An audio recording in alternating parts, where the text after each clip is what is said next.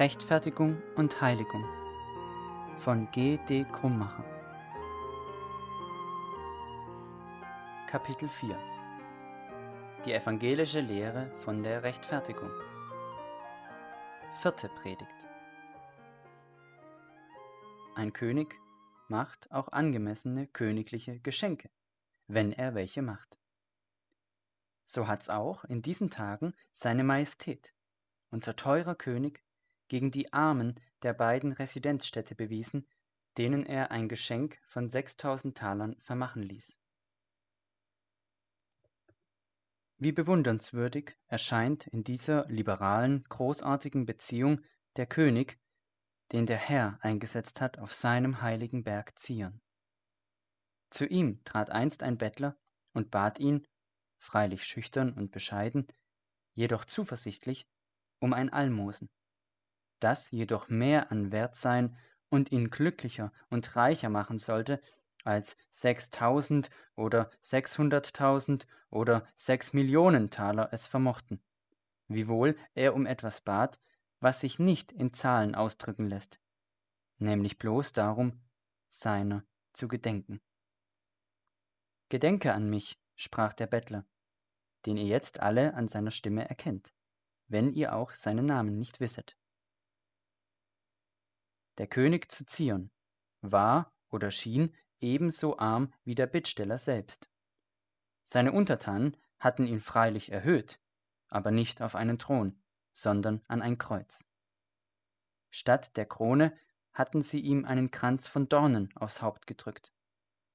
Er hatte kein Hemd mehr am Leibe, geschweige denn einen Rock, über welchen sie eben das Los warfen und so die Schrift erfüllten. Er selbst musste um etwas bitten. Und um was denn? Um einen Trunk in seinem großen Durst.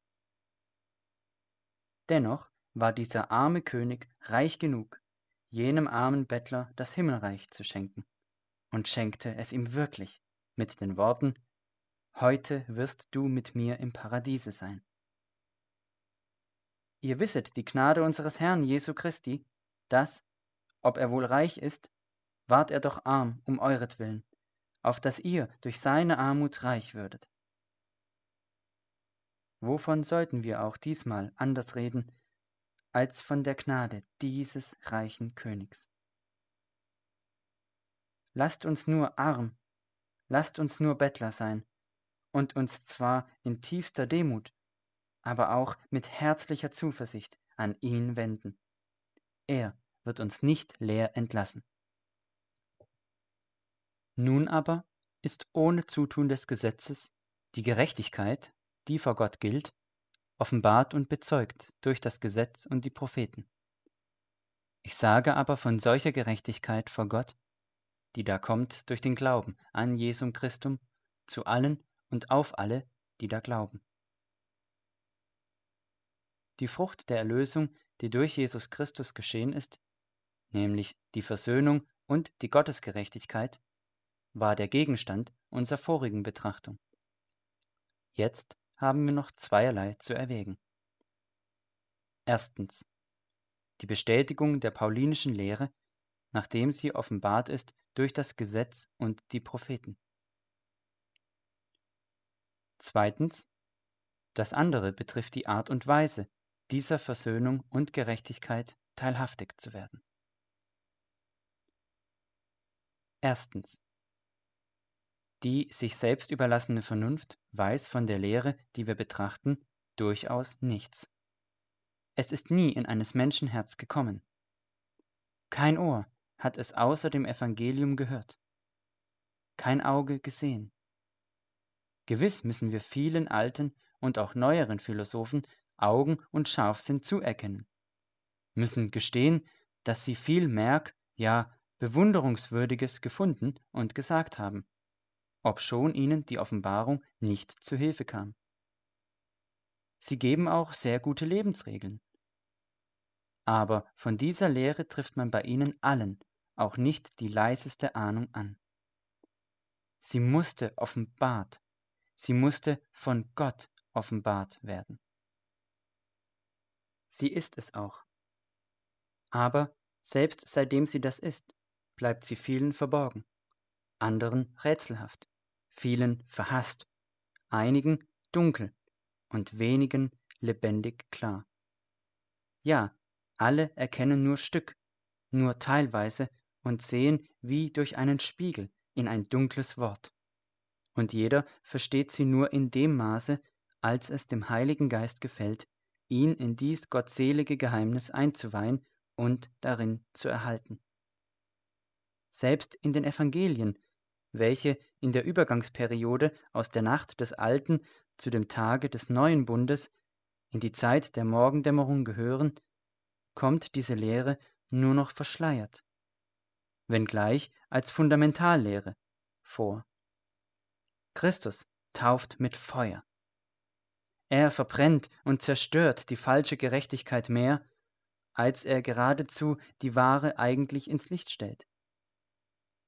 Die Pharisäer, als Verfechter und Standhalter jener falschen Selbstgerechtigkeit aus dem Gesetz, sind ein vorzüglicher Gegenstand, den er bestreitet. Aber indem er es feststellt, es sei denn eure Gerechtigkeit besser als der Schriftgelehrten und Pharisäer, so werdet ihr nicht in das Himmelreich kommen, spricht er sich doch im Ganzen über diese bessere Gerechtigkeit nicht mit völliger Deutlichkeit aus, welche der Zeit nach der Ausgießung des Heiligen Geistes vorbehalten war und zu denjenigen Dingen gehörte, wovon Jesus zu seinen Jüngern sagte, Ich habe euch noch viel zu sagen, aber ihr könnt es jetzt nicht tragen. Wenn aber jener, der Geist der Wahrheit kommen wird, der wird auch die Welt überzeugen von der Gerechtigkeit. Nur einmal gedenkt er der Gerechtigkeit Gottes als eines Guts, wonach wir als erstes trachten sollen, wo uns denn alles Übrige zufallen werde. Nur einmal sagt er, Darum sollt ihr vollkommen sein, gleichwie euer Vater im Himmel vollkommen ist. Veranlasst dadurch zwar viel Nachsinnens, sagt aber erst lange nachher, Ich bin der Weg. Mit Worten sagt er nie, Ich bin eure Gerechtigkeit. Wenn er gleich sagt, also gebührt es uns, alle Gerechtigkeit zu erfüllen. Mit der Tat aber beweist er es sehr oft und am glänzendsten kurz vor seinem Tode, indem er vielen ihre Sünden vergab und unter diesen auch solchen, die in besonderem Sinne Sünder waren, ja, sogar Macht erteilte, in seinem Namen Sünden zu vergeben oder zu behalten. Nach der Ausgießung des Heiligen Geistes aber wurden die Schleier ganz weggenommen. Und die Rechtfertigungslehre die Lehre, dass Christus selbst unsere Gerechtigkeit sei, tritt wie ein heller Morgenstern hervor. Dem Apostel Paulus aber, einem vormals strengen Pharisäer und gewaltigen Eiferer fürs Gesetz und die Gerechtigkeit aus demselben, an dem aber Christus vornehmlich den Reichtum seiner Gnade erwies, scheint es, vor den anderen Aposteln her, verliehen worden zu sein, diese Lehre mit besonderer Deutlichkeit und Kraft zu verstehen und vorzutragen, weswegen er auch wohl bei einigen Christen aus den Juden verdächtig wurde, als hebe er das Gesetz auf.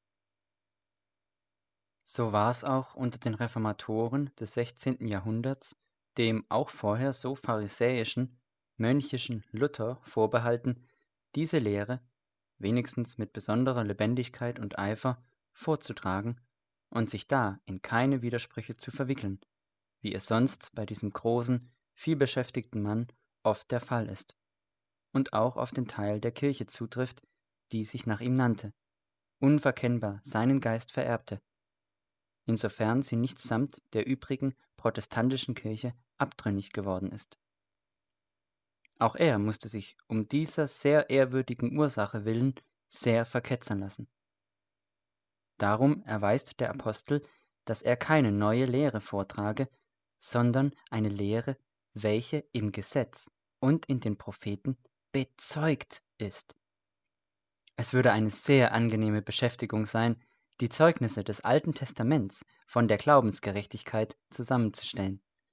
Wenn dieser Zeugnisse nicht zu viele an der Zahl wären. Der Apostel führt hauptsächlich drei an. Eins aus dem Gesetz, wovon Abraham gesagt wird, Abraham hat Gott geglaubt und das ist ihm zur Gerechtigkeit gerechnet. Das andere aus dem Psalmen. Wohl dem Menschen, dem der Herr die Missetat nicht zurechnet, woraus der Apostel den Schluss zieht, dass die Seligkeit allein des Menschen sei, welchem Gott die Gerechtigkeit ohne Zutun der Werke zurechnet. Das dritte aus den Propheten. Der Gerechte aber wird seines Glaubens leben. Aus welchen Sprüchen er die wichtigsten Schlüsse herleitet, welche an ihrem Ort in Römer 4 und Galater 3 mögen nachgelesen werden. Übrigens, was kann herrlicheres gesagt werden, als wenn es heißt, und dies wird sein Name sein, dass man ihn nennen wird, der Herr, unsere Gerechtigkeit. Ja, wenn die Kirche selbst so genannt wird, wie sie in der Offenbarung als eine Frau mit der Sonne bekleidet erscheint. Wenn Christus die Sonne der Gerechtigkeit genannt wird, wenn die Kirche rühmt, er hat mich mit dem Rock der Gerechtigkeit gekleidet, wenn ihr gesagt wird, alle Zunge so sich wider dich setzt, sollst du im Gericht verdammen. Das ist das Erbe der Knechte des Herrn und ihre Gerechtigkeit von mir, spricht der Herr. Wer also gegen diese Lehre angeht, der bestreitet die ganze heilige Schrift und hat nicht bloß den einigen Paulus und seine Lehre wider sich, sondern das Gesetz, die Psalmen und Propheten, also Gott selber, und versucht, wenngleich vergeblich, den Grund einzureißen, worauf die ganze Gemeinde erbaut ist, welche die Pforten der Hölle nicht überwältigen können. Zweitens. Von der höchsten Wichtigkeit ist nun die Frage, wie und auf welche Weise wird ein Sünder dieser Gerechtigkeit und Versöhnung teilhaftig, so dass sie ihm zugute kommt. Ernstlich geschieht dies nicht so ohne weiteres, wie wenn jemand bei gutem Wetter ausginge und plötzlich von einem Gewitterregen überfallen und durchnässt würde. Es geht damit nicht, wie wenn ein König, der bisher Krieg geführt hat, Frieden schließt, dessen Vorteile die Untertanen ohne weiteres genießen. Mögen sie den Friedensschluss genehmigen und billigen oder nicht, worauf auch bei Abschließung des Friedens gar keine Rücksicht genommen wird sondern wenn wir davon ein Bild machen wollen, so verhält es sich damit wie etwa mit einem Kranken- oder Armenhause, was doch noch mancherlei voraussetzt. Mit einem Schiff oder sonstigen Fahrzeug, das Menschen irgendwohin führt. Mit deutlichen Worten, man kann nun denken oder sagen, Wohlan, wir sind nun versöhnt, wir haben nun eine vollkommene Gerechtigkeit, die ist Christus. Wir haben uns nun um weiter nichts zu bekümmern oder zu sorgen, zu grämen oder zu ängstigen. Vor Gottes Gericht brauchen wir uns nicht zu scheuen, denn wir haben ja einen Bürgen und ein vollgültiges Lösegeld.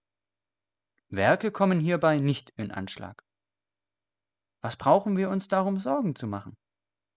Die bösen Werke hat Christus auf einmal bezahlt und die guten Werke für uns vollbracht mögen nun diejenigen es sich sauer werden lassen, die da meinen, sie müssten oder könnten das. Wir nicht also.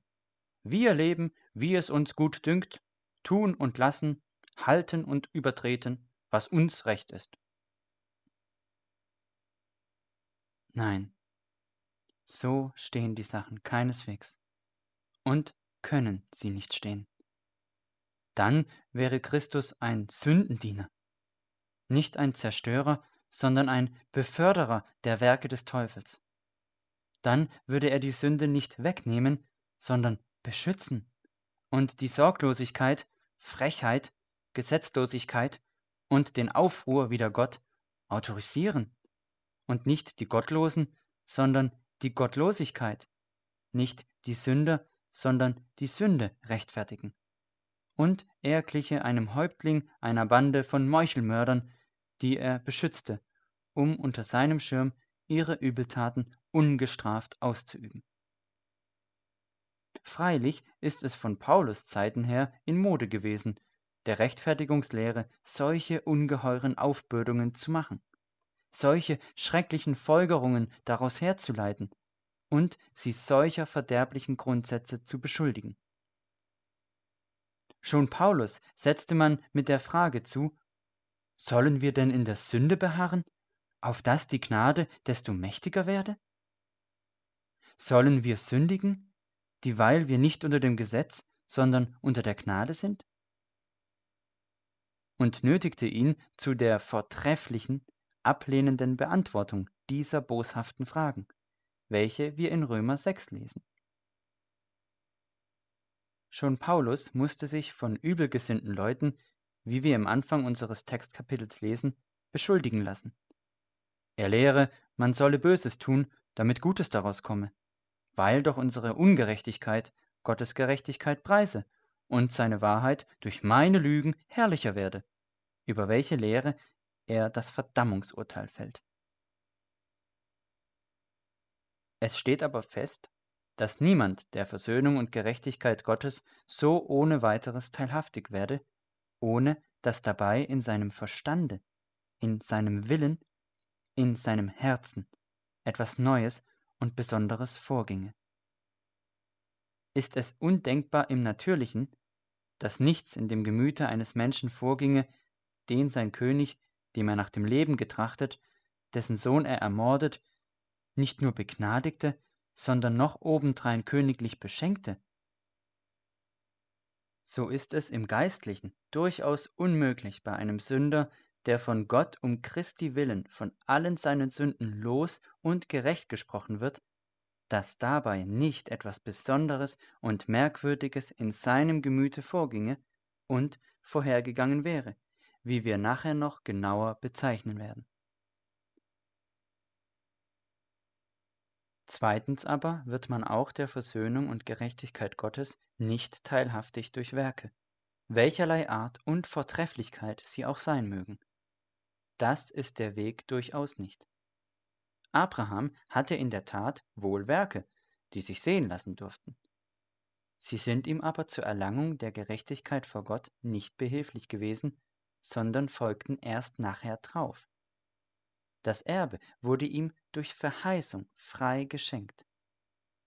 Diese Verheißung war auch drittehalb Jahre oder von Abraham angerechnet 430 Jahre älter als das Gesetz. Sie wurde aber durch dieses weder aufgehoben noch beschränkt, sondern bleibt als ein zuvor auf Christus bestätigtes Testament fest. Das Gesetz kam aber um der Sünde willen nebenein, damit dieselbe desto klarer möchte erkannt und so die Notwendigkeit der Verheißung desto deutlicher möchte eingesehen werden.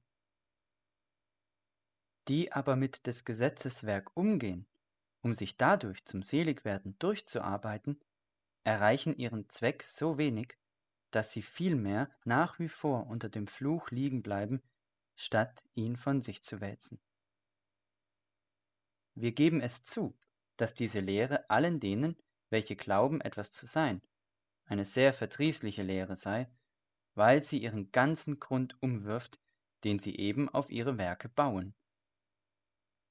Wir wissen, dass die geängstete Natur sich freuen würde, wenn die Gnade an die Erfüllung irgendeiner, wenn auch beschwerlichen, Bedingung geknüpft wäre, und dass mancher sich an dieselbe machen würde.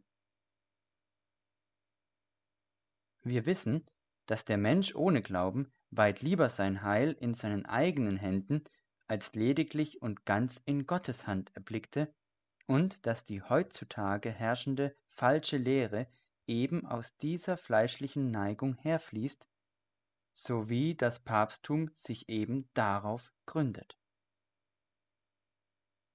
Wir wissen auch, dass man allerlei und namentlich auch die Einwendung dagegen gemacht hat, es würden nur zeremonielle Werke gemeint und die ausgesprochenen und immer wiederholten Beschuldigungen gegen diese Lehre nicht weiter beachtet. Endlich wissen wir, dass diese Lehre nur auf den Trümmern der eigenen Gerechtigkeit und Kraft sanft einherfährt und Eingang ins Herz findet. Dass große und gründliche Demütigungen ihr den Weg bahnen, sie köstlich, erwünscht und lieblich machen. Solange aber jenes nicht vorangegangen, lässt sich dieses nicht erwarten. Lest und versteht Jesaja 57. Am Schlusse des Kapitels heißt es: Ich gab ihnen wieder Trost. Ich will Frucht der Lippen schaffen, die da predigen.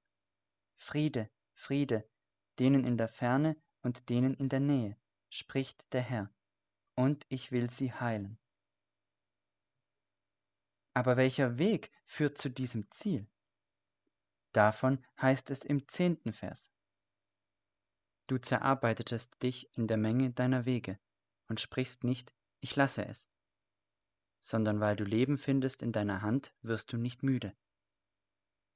Nun aber heißt es weiter, ich will aber deine Gerechtigkeit anzeigen und deine Werke, dass sie dir nichts nütze sein sollen.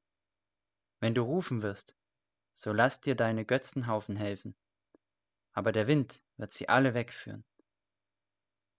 Ferner sagt Gott, ich war zornig über die Untugend ihres Geizes und schlug sie, verbarg mich und zürnte.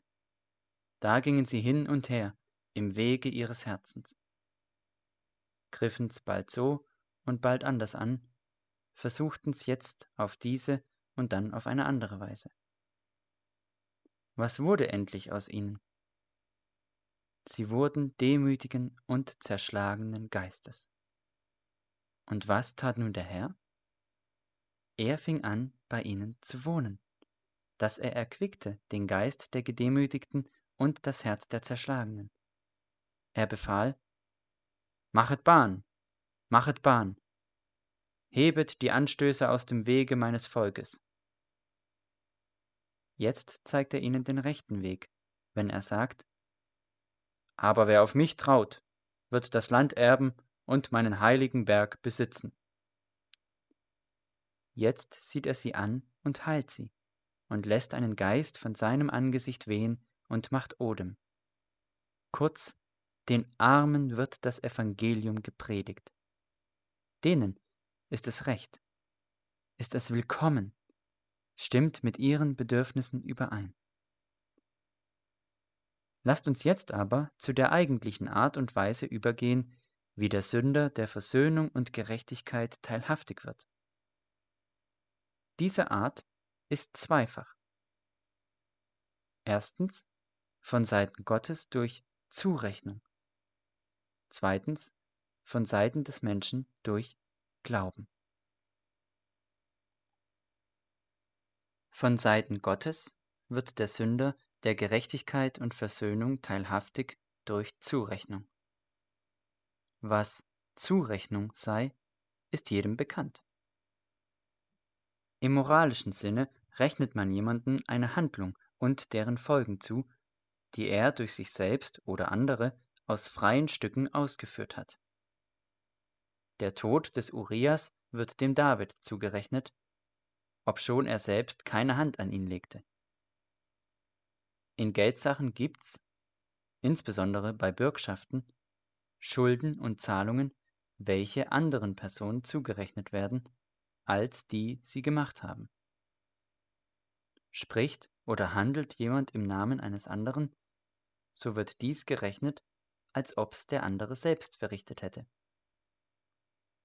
Hier ist die Rede von einer Zurechnung, welche von Seiten Gottes geschieht jedoch nicht von jener verderblichen Zurechnung, welche David verbittet, wenn er ausruft, So du willst, Herr, Sünden zurechnen, Herr, wer wird bestehen? Rechnet Gott jemanden seine Sünden zu, so lässt er ihm dieselben in ihrer ganzen Strafbarkeit entgelten, und er ist verloren. Wir reden hier aber von der Zurechnung als einem Mittel und Weg, der Versöhnung, der Gerechtigkeit Jesu Christi teilhaftig zu werden. In unserem Text, wie in dem ganzen Textkapitel, ist freilich nirgends von Zurechnung die Rede, desto öfter aber in dem folgenden, wo derselben zehnmal gedacht wird. Dies ist ein äußerst merkwürdiger, trostreicher Begriff, eine dem Evangelium ganz eigentümliche Lehre. Gott als oberster Richter rechtfertigt einen bisherigen Sünder dadurch, dass er ihm den leidenden und tätlichen Gehorsam, dass er ihm die Gerechtigkeit seines eingeborenen Sohnes zurechnet, als ob er dies alles in seiner eigenen Person getan und gelitten, als ob er nie eine Sünde weder begangen noch gehabt hätte. Und dieser wird für so gerecht und heilig gehalten wie Jesus Christus selber. Ist das nicht etwas Außerordentliches? Ist das nicht etwas über alle Maßen Vortreffliches und Herrliches? Ist das nicht etwas so Glänzendes, dass es uns durch seine Strahlen blenden? Etwas so Großes, dass es uns unglaublich, unmöglich vorkommen möchte? Was wollen wir dazu sagen?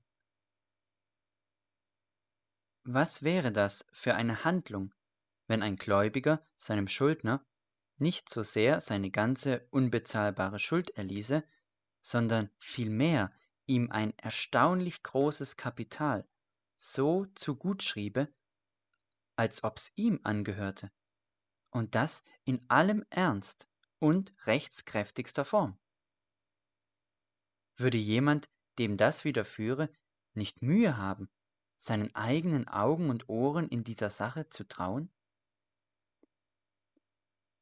Würde sein Erstaunen, seine Verwunderung, seine Bestürzung samt seiner Dankbarkeit und Freude nicht umso lebhafter werden, je unwidersprechlicher ihm bewiesen würde, dass durch den Reichtum und die Güte seines Gläubigers ein solcher glücklicher Wechsel in seinen Vermögensumständen vorgegangen ist, da er auch ganz anders, nach aller Strenge mit ihm hätte verfahren können, wenn er gewollt hätte. Und wie leicht wäre er zu solch einem Glück gekommen. Aber welch ein matter Schatten ist dies gegen dasjenige hohe Gut, wovon wir reden. Welch ein Weg, welch ein wunderbarer Weg, gerecht zu werden durch Zurechnung. Und durch was für eine? durch eine Zurechnung, vermittelst welcher die allerheiligsten Verdienste des Sohnes Gottes, die mehr wert sind als Himmel und Erde samt allem, was darinnen ist und wohnt, dem Sünder gutgeschrieben werden, der nichts als der ewigen Verdammnis wert ist, welche ihm auch schon zuerkannt war, der nichts dazu beitragen konnte. So kann freilich nur ein Gott beschenken. Wird diese Gerechtigkeit zugerechnet, so sind die Glücklichen, denen dies widerfährt, freilich nicht bloß Gerechte, wie Adam vor dem Fall einer war, sondern sie sind Gerechtigkeit Gottes. Gerecht wie Jesus Christus selber. Wo ist eine Herrlichkeit, wie die des eingeborenen Sohnes vom Vater? Und wo ist eine Herrlichkeit wie die seiner Braut, die einhergeht in seinem Schmucke? Er, die Sonne, sie der Mond.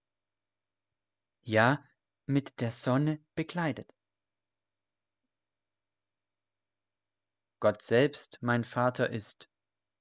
Ich bin des Sohnes Braut sein Geist das Pfand und Band, wodurch ich ihm vertraut. Gott hat mir mehr geschenkt als allen Seraphinen, die Engel stetig mich begleiten und bedienen.